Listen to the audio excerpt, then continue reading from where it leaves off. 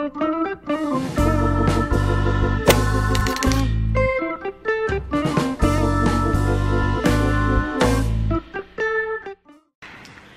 everyone and welcome back. If this is your first time, I hope you'll stay. Espero que te quedes.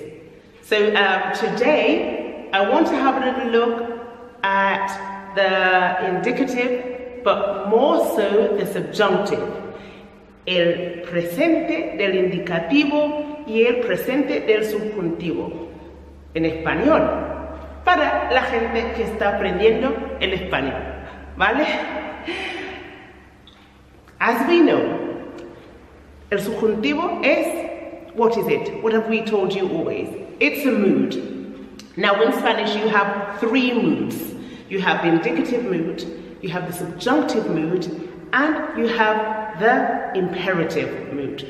Okay, so today, indicative and the subjunctive is what we're focusing on. So, what's the main difference between the two?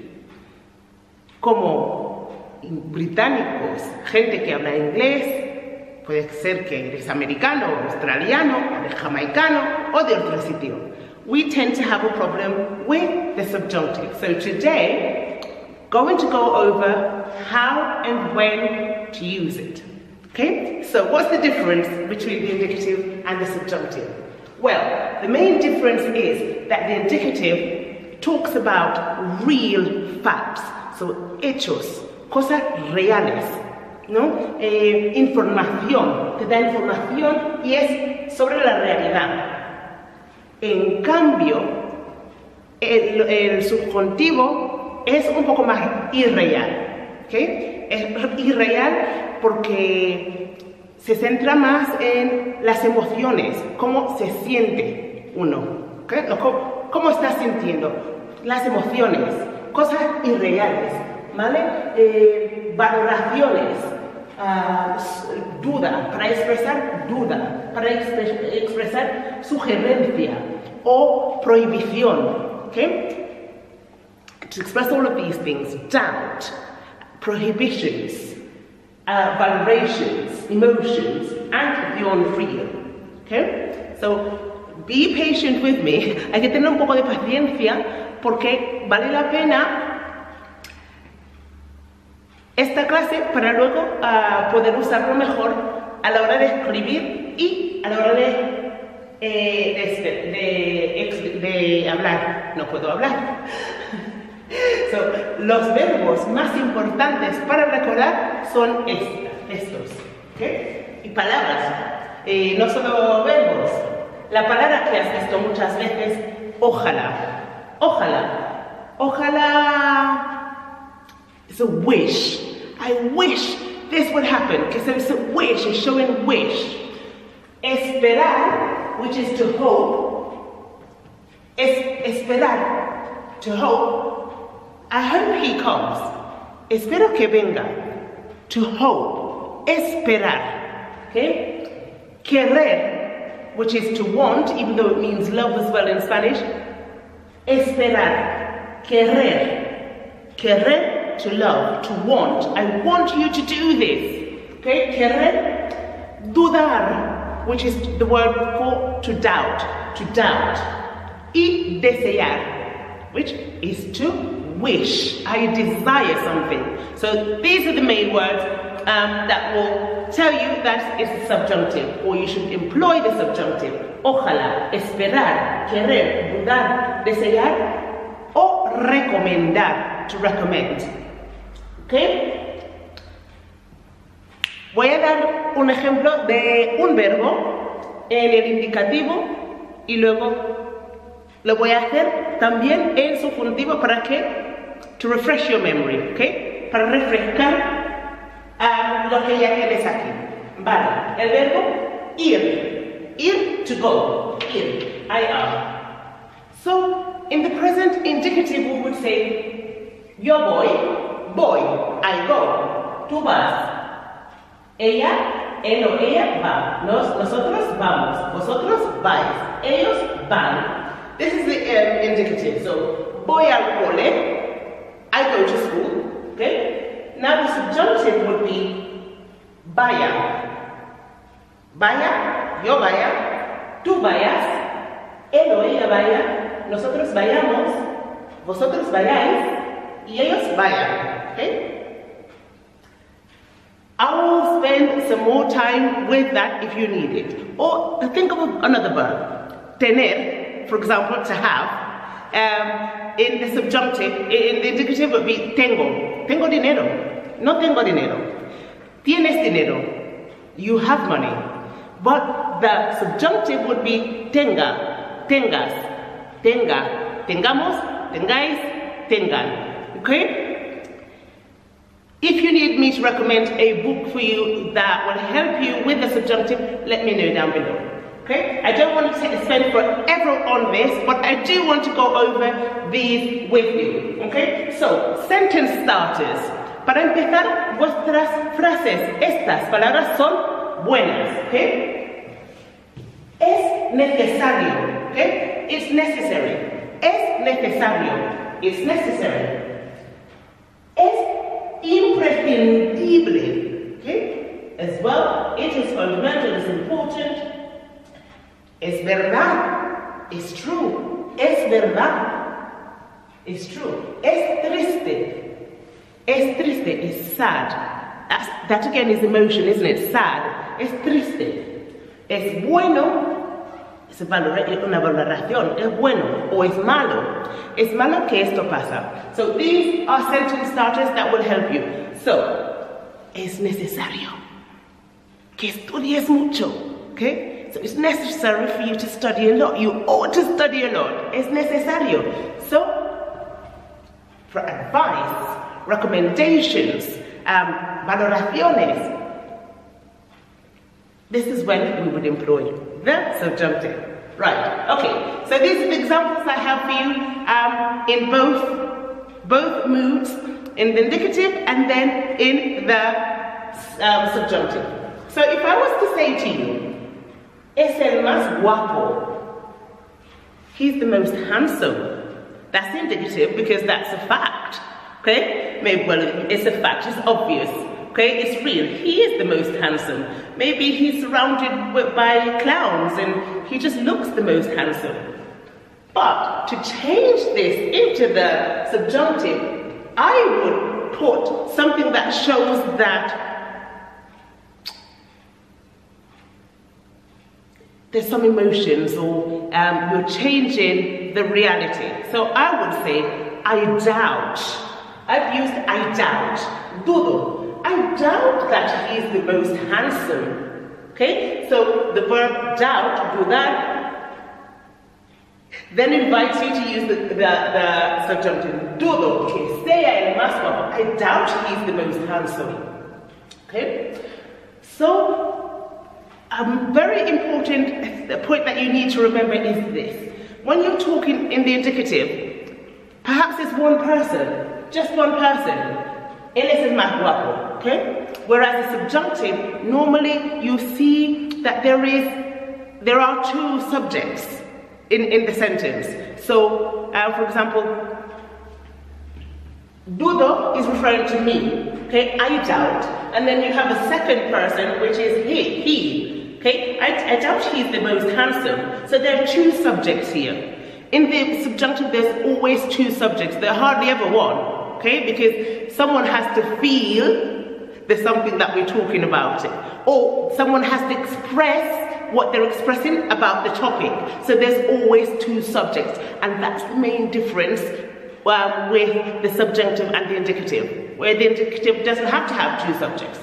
With one, it's just fine. Okay? Right.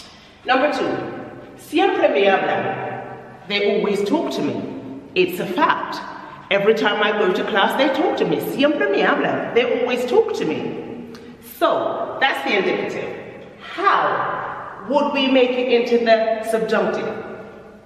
Remember, emotions, opinions, feelings is what the emotion, is what subjunctive um, does. So, I would say, no me gusta, okay? No me gusta, I'm sharing an opinion. No me gusta que me hablen. I don't like them speaking to me. I don't like that they speak to me. No me gusta que me hablen. So you see the difference? One is just expressing the fact that they always talk to me, talk to me, and the subjunctive is saying, I don't like that they speak to me. Okay? Do you, do you understand? Do you see the difference? Next, continue. Number three. Viene Juan a la reunión. So John is coming to the meeting. How do I change this into the subjunctive? Es necesario. Es necesario. Do you remember your sentence started? It's necessary. Okay? Remember recommendations, recomendaciones, prohibiciones, valoraciones. Es necesario. Okay? It's necessary that John comes to the meeting. Es necesario que venga Juan a la reunión. Do you now see the difference? Are you seeing the difference? I hope you are. Next. No llueve en el pueblo. No llueve en el pueblo. So, it isn't raining in the village, or it doesn't rain in the village. Okay? Simple. One subject, it doesn't rain, refers to, to the weather, nothing else. Okay? It doesn't rain. Now, Ojalá, ojalá, ojalá, ojalá, ojalá, ojalá. I wish it would rain. Ojalá que, ojalá que no llueva en el pueblo. I hope it doesn't rain in the, the village.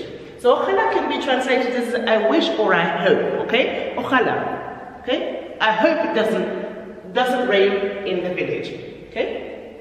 Right, next. A indicative sentence, odio cuando me gritas así. I hate when you shout at me like that. Okay? I hate when you shout at me like this or like that. Again, odio is emotions, isn't it? So that stays the same. We could change this saying, odio que me grites así.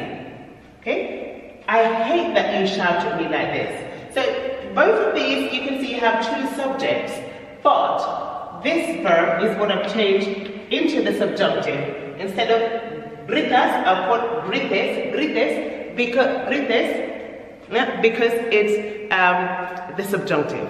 So you could, you could have it both ways. You can use the indicative or um, the subjunctive in this case. Okay? Right. Next, continue. Te quiero. Te quiero. I love you. I always put that one on. Te quiero. I love you. It's a fact, I love you. I love you, I've got a, love, a lot of love in my heart. I love you, te quiero. Okay? Subjunctive, how do I change that? Quiero, que me quieras como yo a ti. Quiero, I want, it's a wish of mine. Okay? Subjunctive is about wishing. Okay? Wishing, hoping, Quiero que me quieras. I want you to love me the way I love you. I want you to love me the way I love you. Quiero que me quieres como yo a ti. Okay? I want you to love me the way I love you. Okay? So, it's that influence. Okay? I want you to feel something. I want you to do something. Subjunctive.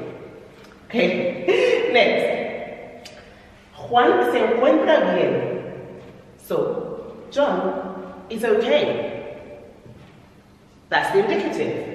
It's normal, it's, it's, obvious, John is okay, that's, that's reality, it's okay, there's nothing wrong with him. How do I make this into subjunctive into a subjunctive sentence? Espero, I hope. Remember, esperar is to hope. Espero, I hope, que se encuentre bien Juan. Okay? Espero que se encuentre bien Juan. I hope John is okay. So, again, the verb I changed here is encontrar. En vez de decir encontrar, se encuentra, and the subjunctive will be se encuentre. Okay? You have to check the endings and the tables to make sure that you know how to change the indicative, indicative into the subjunctive. Because I promise you, the moment you understand the indicative or you know the indicative of a verb, resto es facilísimo, ¿ok? Piece of cake. The moment you know the indicative, the subjunctive would be a lot easier for you to learn. It's a promise, it's a promise, it's a promise. Okay? Next. Baila salsa con Elena. You dance salsa with Elena. Yes. I see you both dancing salsa on Tuesdays. Baila salsa con Elena. You dance salsa with Elena. But I want to change that. Okay? I'm a bit jealous. I want to say, prefiero que no bailes con Elena. Prefiero que no bailes salsa con Elena. I prefer, I prefer, I would prefer if you didn't buy, if you didn't dance with Elena. Okay? Prefiero que no bailes. Indicative, bailas, you dance. Subjunctive, bailes. So the A in bailas change, changes to an E. Bailas con Elena. You dance with Elena. Prefiero que no bailes. I prefer if you didn't, if you don't dance with Elena. I prefer if you didn't dance with her actually. No. Dance with me. okay, right. Next. Necesito ayuda. I need help. Okay, obviously I can't cope on my own. Necesito ayuda. I need help. In the subjunctive, how would I say, it? Necesito. I need you to help me. Necesito que me ayudes. Necesito que me ayudes. It's a necessity, I'm saying. Something I need. Okay? I need it. Okay. Uh, so the last one. Sara, Sara, Sara tiene miedo a los perros. Sara tiene miedo a los perros. So Sarah is scared of dogs. Actually, so am I. um, so how would we change that from the indicative, um, Sarah, ha, Sarah is scared of dogs, to the subjunctive? Well, the, example I've given you is, quiero que Sara deje de tener miedo a los perros. I want is a desire man. I want Sarah to stop being scared of dogs. To stop being scared of dogs que deje de, deje, dejar de is stop doing something. It could be a bad habit, it could be just doing something, stop doing it. So I want Sarah, to, or Sarah, to stop being scared of dogs. Because it's ridiculous. Very nice dogs out there, okay? So, Sara tiene miedo a los perros. Quiero que Sara deje de tener miedo a los perros. Okay? So, you can practice this by writing down some sentences with the indicative and then think how can I change it? How can I change it using emotions, desires, prohibitions, um, what else did I say? Desires, recommendations, and something that's unreal. It's not so tangible. Okay, how can I change it? If you still struggle with the subjunctive, let me know. Um, I've done several classes on the subjunctive, but we do get quite stuck on it because I feel as though it's one of the most difficult things to get our heads around. So don't worry, we will keep practicing and let me know, uh, well, how you, what you thought of the lesson. If you need more help, let me know that also. And so with that, I'm going to leave you and I'm going to say hasta pronto and yeah, feliz um, fin de semana what's left of the week. We're nearly there, I'm counting already.